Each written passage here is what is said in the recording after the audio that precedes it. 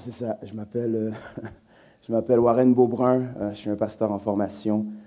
Et puis, euh, Max l'a dit, je travaille avec Pasteur Ralph auprès des jeunes.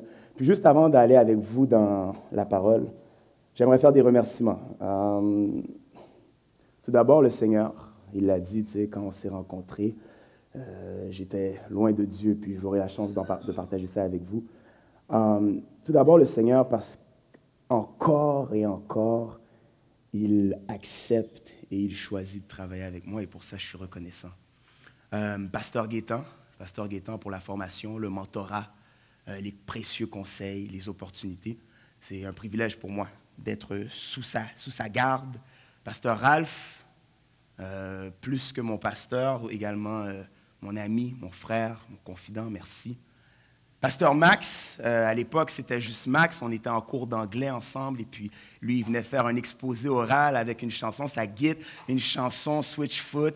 Puis moi, j'étais là, puis j'étais comme, hey, non, c'est nice ça. Puis, puis il m'expliquait, ah, je vais au, portail. À l'époque, c'était l'Église évangélique de la Rive-Nord. J'étais comme, ah ouais, j'ai déjà été là, etc. Puis sans jamais savoir qu'un jour, on serait côte à côte, pasteur, et puis que j'aurais la chance de prêcher à son Église. Donc, merci également pour l'opportunité. Euh, Dernier remerciement, je suis quand même venu ici pour prêcher, donc je ne passerai pas la matinée à remercier des gens, mais ma femme, euh, ma meilleure amie, merci, merci. Ce matin, elle se réveille, elle dit Oh, j'ai des papillons dans le ventre pour toi, je suis stressée. Puis merci, merci pour tout, tout, tout. Ça paraît cliché de dire merci pour tout, mais je le I mean it. Euh, je, suis vraiment sincère quand je dis merci pour tout. Les supports, les conseils. Um, you put up with me. tu me supportes après tout ce temps et je suis béni. Maintenant, nous pouvons ensemble passer dans la parole du Seigneur.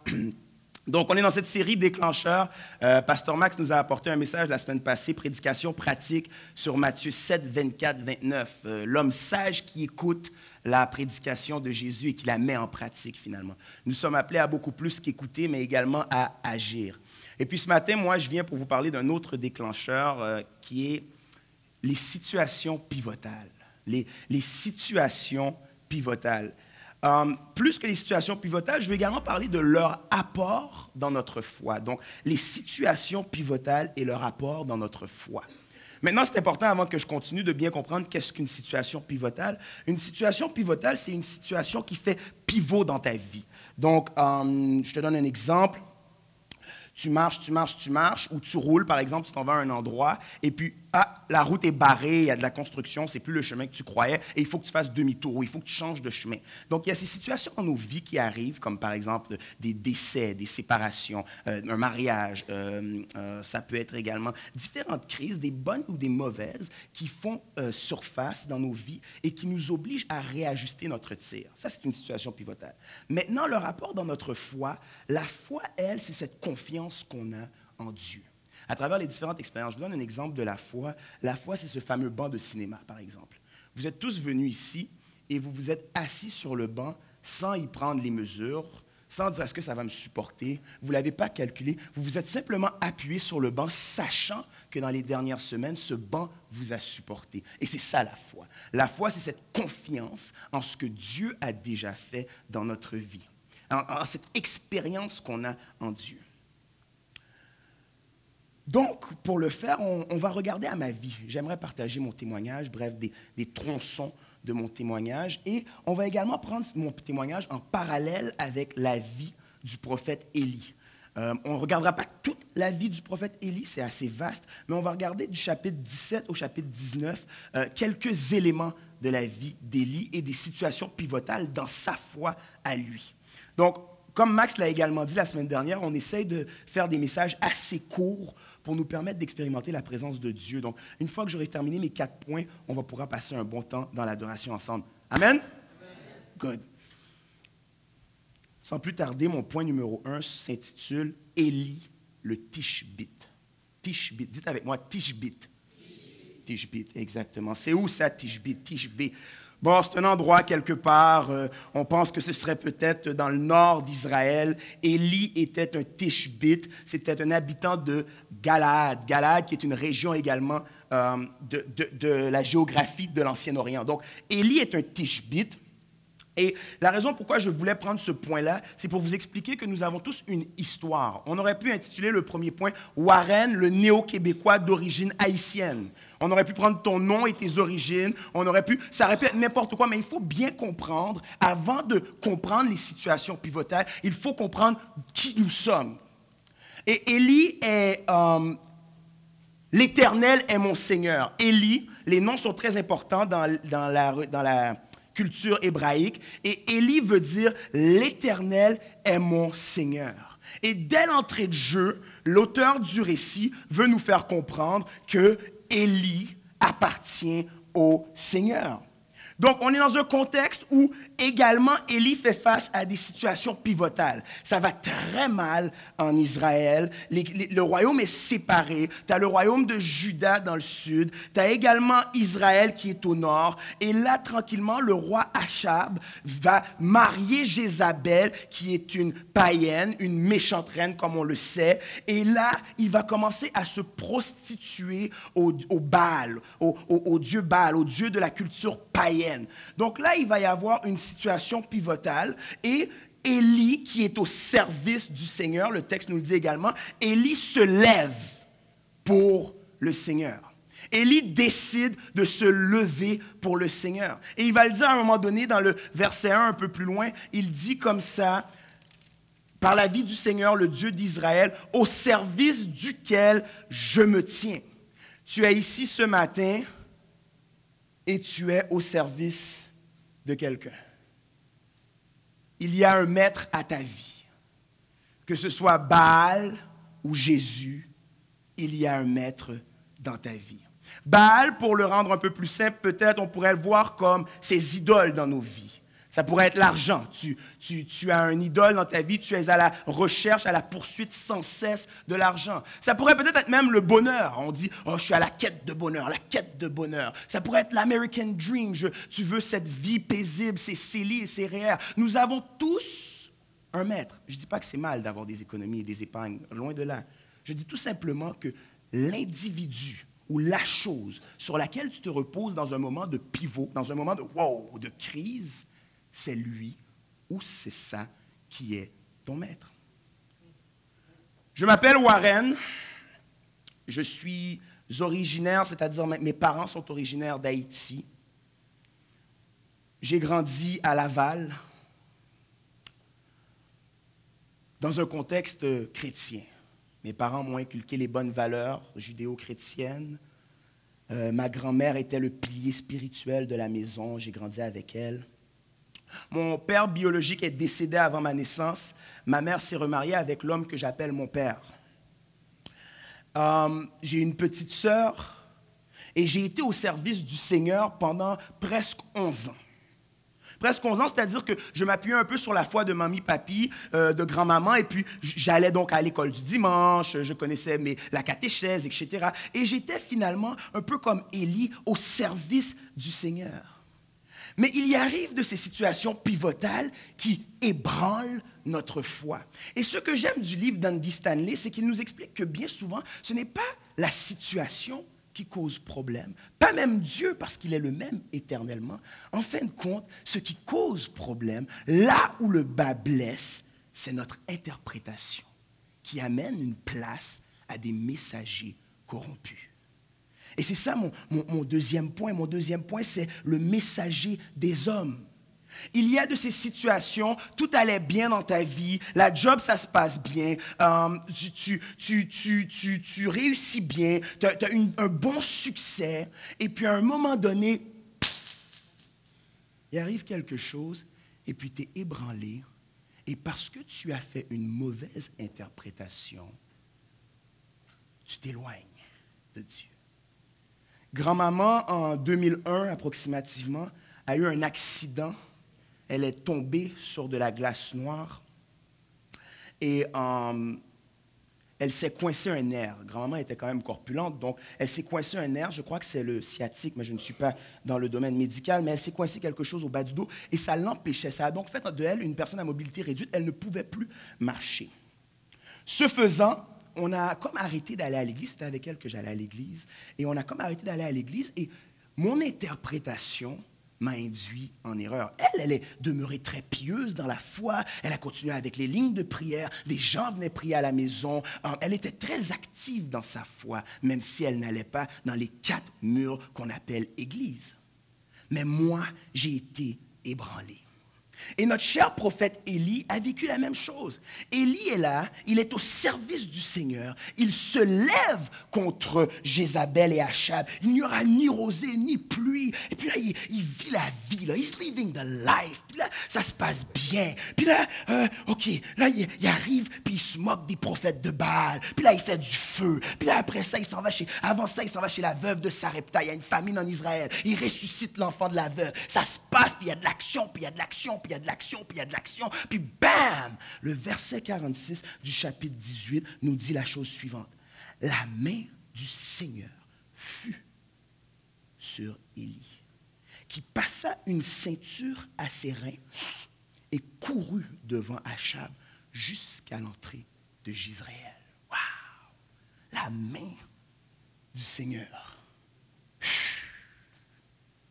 Le gars, il vit la vie, là. Ça marche, ses affaires.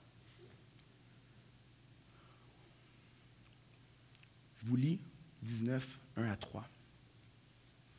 Achab raconta à Jézabel tout ce qu'avait fait Élie et comment il avait tué par l'épée tous les prophètes. Jézabel envoya un messager à Élie pour lui dire Que les dieux fassent ceci et qu'ils y ajoutent cela, si demain à cette heure-ci je ne fais pas de ta vie ce que tu as fait de la vie de chacun d'eux. Élie, voyant cela, s'en alla pour sauver sa vie.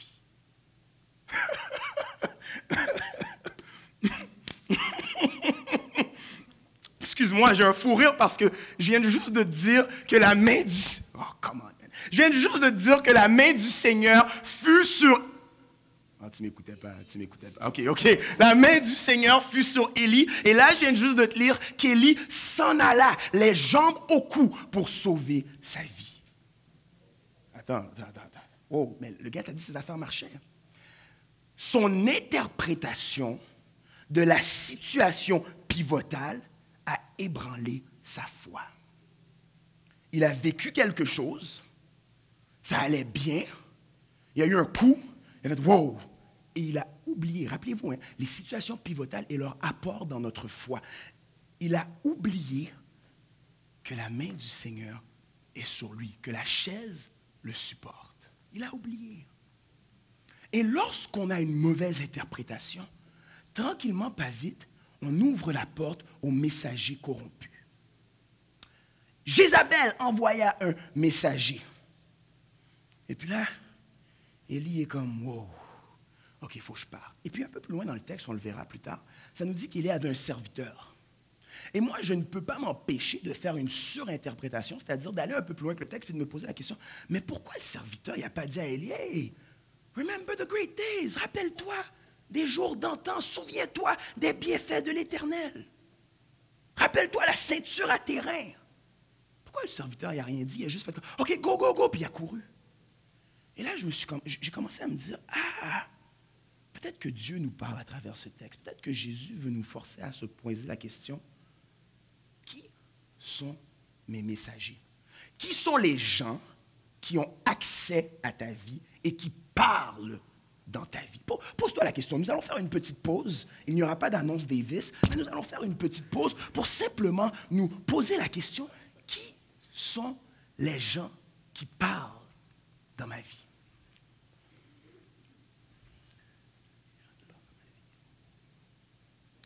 Fait que là, j'ai 11 ans. Grand-mère a eu un accident. Et les gens qui parlent dans ma vie sont les amis du quartier qui en ont que faire de Jésus et de son message d'évangile. Jésus, quoi, qui? Je suis? Non, Jésus, je suis. Que faire, que faire, que faire? Fait qu'on se met à jouer euh, balle molle, euh, hockey, on avait un lac proche de la maison. Et puis tranquillement, pas vite, je, m'éloigne. Tranquillement, pas vite, 11 ans, 12 ans, vient l'adolescence, l'école, le secondaire. Tranquillement, pas vite, vient les mœurs légères. La bière, l'alcool, 14, 15 ans, la drogue. Et puis tranquillement, pas vite, je m'en vais pour sauver ma vie. Je fais ma vie à ma façon. Puis les années passent.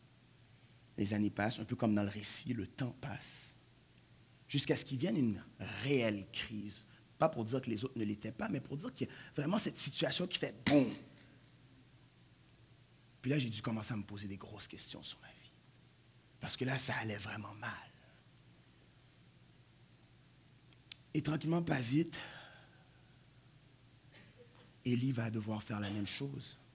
Et vous allez voir que Élie n'arrivera tellement pas à se sauver qu'il a fallu que ce soit le messager, pas des hommes, mais de Dieu qui vienne le sauver. Et comme c'est la même chose pour moi, j'étais rendu à un point dans ma vie où le messager des hommes, mes amis, mes collègues, ceci, cela, les condisciples de classe, ne pouvaient plus venir à mon secours, pas même moi. Il a fallu que le messager de Dieu vienne me sauver. Et c'est le point numéro 3 pour ce matin, le messager de Dieu. Vous êtes avec moi? Je fais la lecture du versets 4 à 8 du chapitre 19 dans Un roi, soit dit en passant. Quant à lui, il alla dans le désert à une journée de marche. Il s'assit sous un genêt, un arbre, et demanda la mort en disant, Cela suffit. Maintenant, Seigneur, prends ma vie, car je ne suis pas meilleur que mes pères. Il se coucha et s'endormit sous un genêt. Soudain, un messager, un messager le toucha et lui dit, Lève-toi, mange. Il regarda et il y avait à côté de lui une galette cuite sur des pierres chaudes et une cruche d'eau. Il mangea et but, puis se recoucha.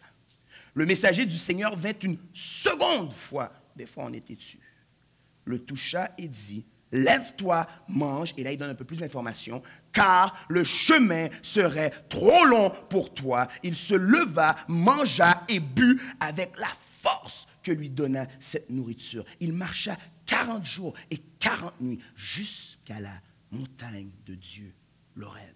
Wow. Cette fameuse grand-mère dont je vous parle en 2007, au mois de juin, va commencer à avoir euh, des pertes sanguines. Et puis on ne sait pas pourquoi, euh, elle est quand même âgée, avancée en âge, elle est octogénaire. Et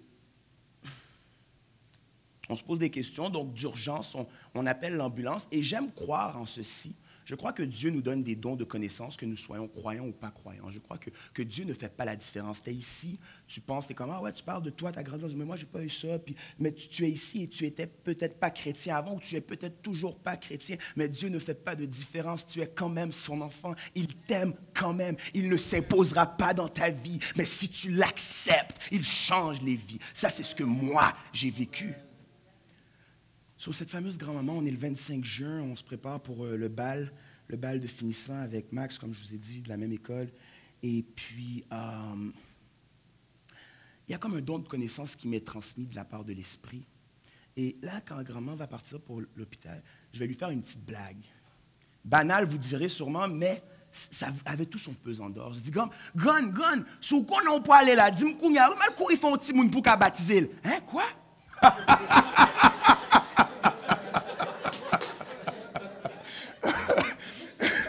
Je dis, grand-mère, si là, tu sens que tu pars, si tu sens que la vie te quitte, dis-le-moi de suite. Je vais aller faire un enfant vite, vite, puis tu pourras le baptiser, juste pour qu'il ait le temps de poser ses yeux sur toi. Puis grand-mère part à rire parce que c'était une bonne blague finalement. Puis je pars au bal et puis on est le 25 juin, le 26 juin, le 27 juin, le 28 juin, le 29 juin, le 30 juin. Elle est encore à l'hôpital et on ne peut découvrir ce qu'elle a.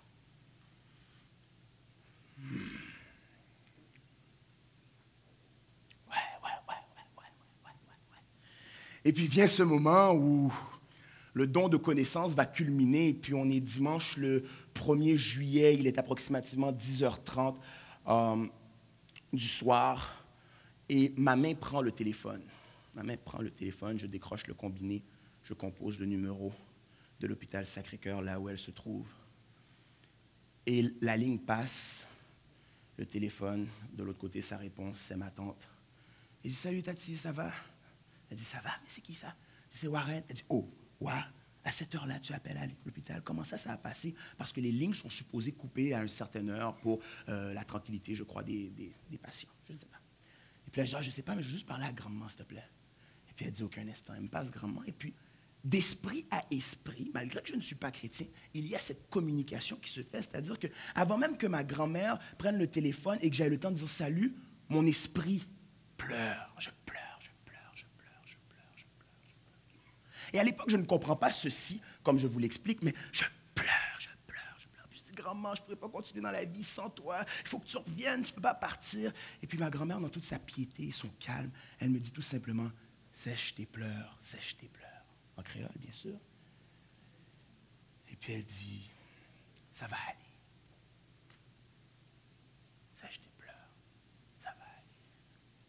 Et on raccroche la ligne. J'aurais tellement voulu qu'elle me fasse croire qu'elle revenait. Parce que figurez-vous, cher ami, que 12 heures plus tard peut-être, c'est sa fille, ma maman, qui m'appelle pour me dire, oh, ça y est, ma maman s'en va. Et je me dépêche, je, vais à l'hôpital. Et puis, quand j'arrive à l'hôpital, grand-maman est couchée paisiblement, le respirateur artificiel. On commence les procédures pour la débrancher. Je prie, je pleure. Je ne suis pas chrétien. Et les réflexes. Souviens-toi des bienfaits de l'éternel. Les réflexes. Je prie je baratine, je dis des choses, je dis des choses. Je veux juste pas qu'elle part. Puis finalement, j'entends ce petit et puis ça, c'est ma situation pivotale. Ça, on aurait dit qu'on a scindé mes jambes en deux coups, et puis là, je suis tombé. Et puis j'ai pleuré, j'ai pleuré, et puis ça a mené à, une débarque. On, se rappelle du texte, on revient dans notre texte qui dit qu'il partit pour une journée de marche. Il y a du temps entre l'endroit, l'entrée de Gisraël et Bersabé où il se trouve. Il y a du temps de marche. Il part dans le désert. Il y a du temps. La vie fait son travail. Je suis rendu à 17 ans. Je suis supposé rentrer au cégep. Je vis une crise existentielle. Le pilier de ma vie vient de s'écrouler. Je capote. Je capote. Je lâche le cégep 18 ans, 19 ans, la drogue, l'infidélité, la débarque, la débarque, ça tombe, c'est décadent, c'est fou, ça n'arrête pas. Une journée de marche dans le désert. Le désert est symbole dans la Bible d'un endroit d'aridité, de, formation. Le désert est un endroit aride où il y a des choses qui peuvent se produire. Le désert vient souvent en contraste au jardin.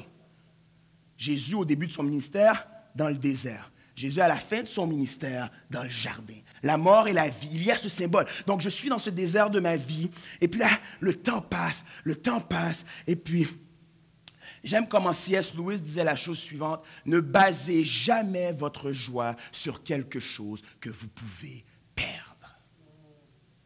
Et là, ma joie vient de tomber. Vous comprendrez que je ne suis plus joyeux. Je m'excuse. Et là, j'avais une copine à l'époque fait cinq ans, six ans.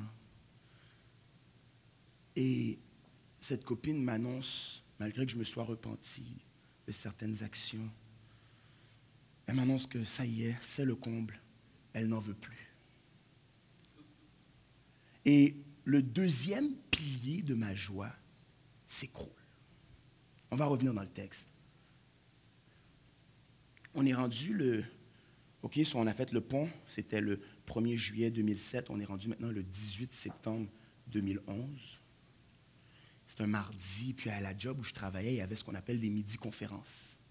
C'était euh, des petites conférences qui, qui avaient différents sujets, et celui-ci, c'était la communication non violente, la CNV. Comment parler aux gens qui nous sont proches tout en étant respectueux et en exprimant ce qu'on vit. Au lieu de dire tu m'agresses, dire je me sens agressé façon de parler, pour permettre à la personne d'être réceptif à la façon dont tu te sens. OK, puis tout. Puis là, bon, ça se passe. Très bonne conférence. Vous voyez, je m'en rappelle encore. Et puis, OK, j'arrive à la maison. Puis je rentre à la maison d'un peinard. Et puis là, mon téléphone sonne, dring, dring, dring. Prends le téléphone, réponds.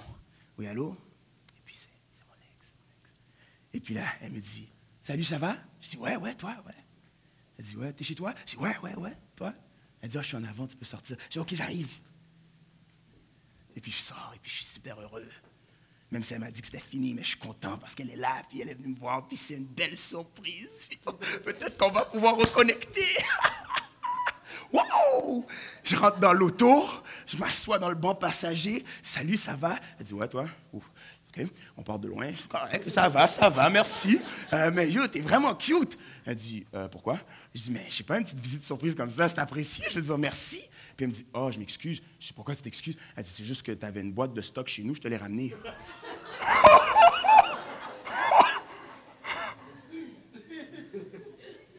je dis, ben non. Elle dit, ben oui, elle est en arrière. oh, wow! Je dis, euh, ben, hey, c'est quoi le problème? Arrête donc. là, je commence ma petite crise, puis je, je m'en vais pour brailler, puis tout. Puis là, elle dit, hey, calme-toi. Elle dit, arrête, là, commence pas ta crise, parce que si je le savais, je l'aurais laissé en avant de la porte, puis je serais parti. Waouh, waouh, waouh, waouh, waouh. No chills, sans froid. Elle est vraiment là. OK, puis elle m'avait donné une chaîne à l'époque. On avait baptisé la chaîne la chaîne de l'amour. Puis elle me dit, en passant, tu peux me donner la chaîne aussi. Je dis, mais non, tu vas pas me voler en plus. Tu vas me, me dérober en plus. Elle me dit, ouais, ouais, mais je dis, arrête, c'était la chaîne de l'amour. Elle dit, il n'y a plus d'amour. Et puis, elle prend l'affaire dans mon cou. je dis, waouh. Et puis là, je me retrouve comme notre fameux prophète Élie. Je rentre à la maison, bredouille avec une boîte dans les mains. Les gars sont sur le divan, les gars qui parlent dans ma vie, mais qui n'ont pas nécessairement cette bonne influence, donc qui ne m'aident pas à interpréter le message comme il faut. Puis les gars sont là, et puis je passe devant eux. Puis j'ai les larmes. Et puis je dépose, et puis je vais dans la toilette. Puis je me couche de dos. Et puis je crie à l'Éternel, et puis je dis, cela suffit. Maintenant, prends ma vie. Maintenant, prends ma... Ça suffit. Là, je suis fatigué. Je veux plus de cette vie. Ma grand-mère est partie. Ma copine est partie. La vie n'a plus rien à m'offrir. Et j'entends cette petite phrase dans mon cœur qui me dit, ça va aller. Le même ça va aller que ma grand-mère. Aujourd'hui, je suis devant vous et j'ai un renouvellement de l'intelligence qui me permet de faire le pont, mais c'est le même ça va aller de ma grand-mère. Élie est là, il demande la mort, il se couche sous un genet et le messager le touche et lui dit, lève-toi, mange, ça va aller. Je me lève, comme de fait, j'essaie de vivre la vie un peu mieux, mais de septembre à décembre, c'est oh, difficile de démarrer. C'est difficile d'être, de, bien interpréter. Et comprenez bien, hein, les situations pivotales arrivent à chaque saison de notre vie. Lorsque j'avais 14 ans, la situation pivotale de ma vie, c'était la crise existentielle de savoir qu'est-ce que j'allais faire plus tard. À 17 ans, c'était de vivre avec un deuil. À 26 ans, c'était mon mariage. À 40 ans, ce sera peut-être la graduation de mes enfants. À 50, 60 ans, 70 ans, on commence à réfléchir et on commence à voir nos amis partir. Chaque saison de notre vie implique des situations pivotales et chaque situation pivotale a pour but de forger notre caractère, de développer notre foi et de faire de nous des disciples. Lève-toi et mange, car le chemin serait trop long si tu n'avais pas mangé. Il serait trop long pour que tu continues, car il serait trop long pour toi.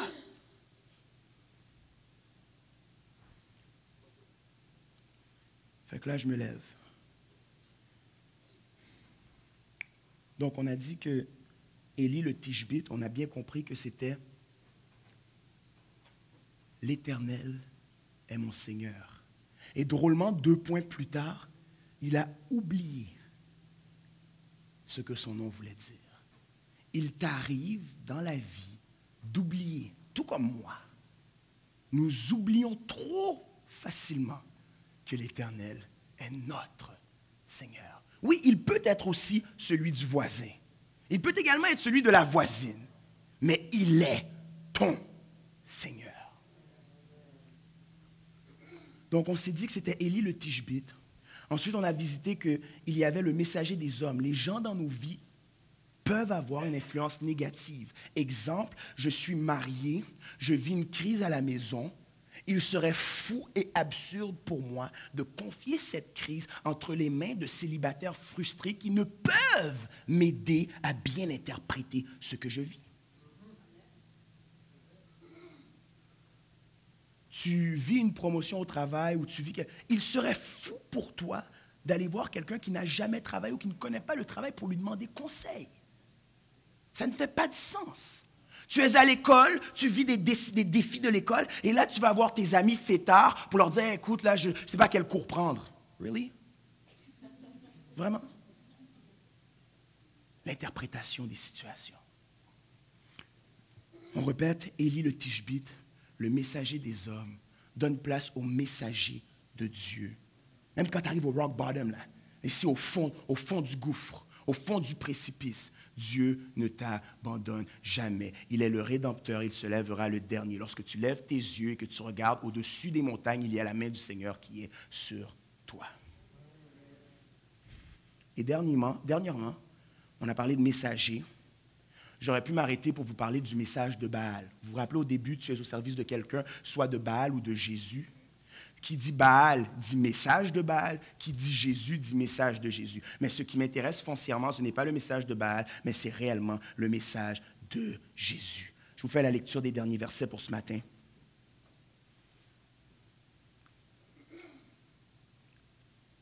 Donc un petit peu de temps a passé. Et puis, Élie est dans une grotte. Et le Seigneur va parler à Élie. Élie va dire, euh, le Seigneur dit, excusez, Sors et tiens-toi dans la montagne devant le Seigneur. Or, le Seigneur passait. Un grand vent violent arrachait les montagnes et brisait les rochers devant le Seigneur. Le Seigneur n'était pas dans le vent. Après le vent, se fait un tremblement de terre. Le Seigneur n'était pas dans le tremblement de terre. Après le tremblement de terre, un feu. Le Seigneur n'était pas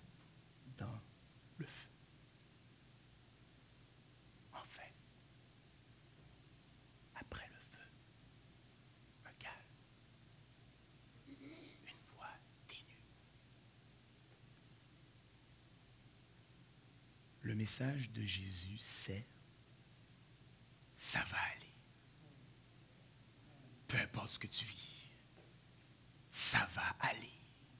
Lève-toi, mange.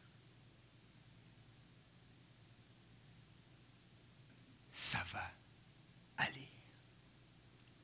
Il faut que tu comprennes que dans le contexte biblique, lorsque ça nous dit que Élie s'est levé avec la force qu'il avait et qu'il a marché pendant 40 jours et 40 nuits, le symbole de 40 est un symbole de formation.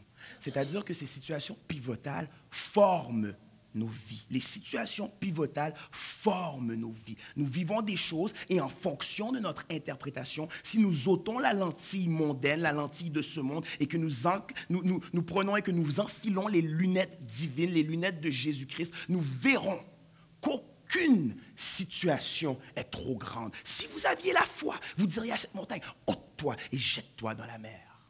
Ça veut dire quoi? Ça veut dire que si tu avais confiance en tout ce que j'ai fait pour toi, tu saurais que rien n'est impossible à celui qui croit. Ça paraît facile. Quelqu'un m'aurait dit ça quand ma grand-mère partait, je, je me serais peut-être battu. Ça paraît facile à dire, mais je vous confirme qu'avec ma vie en preuve, c'est vrai. Le Seigneur travaille hier, aujourd'hui et éternellement.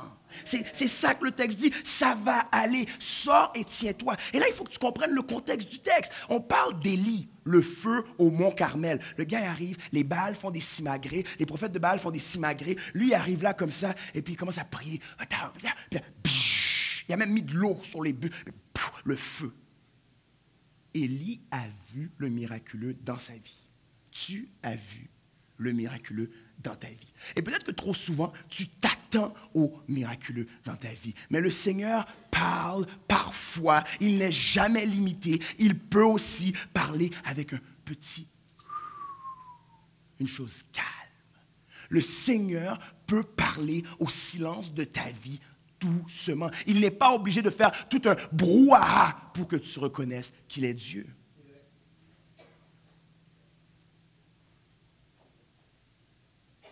Des fois, on essaie de catégoriser Jésus. On essaie de faire de Jésus. On essaie de montrer à Jésus qu'on est le Dieu de Jésus. Et on voudrait que Jésus orchestre quelque chose selon notre désir. Nous ne sommes pas le chef d'orchestre. Dieu fait ce qu'il veut, comme il veut, quand il le veut, parce qu'il est Dieu. Je vais inviter les musiciens à venir me rejoindre. J'ai terminé pour ce matin ou presque. Et en fait, qu'est-ce que j'ai essayé de dire ce matin? J'ai voulu dire que chaque saison de votre vie aura leur lot de situations.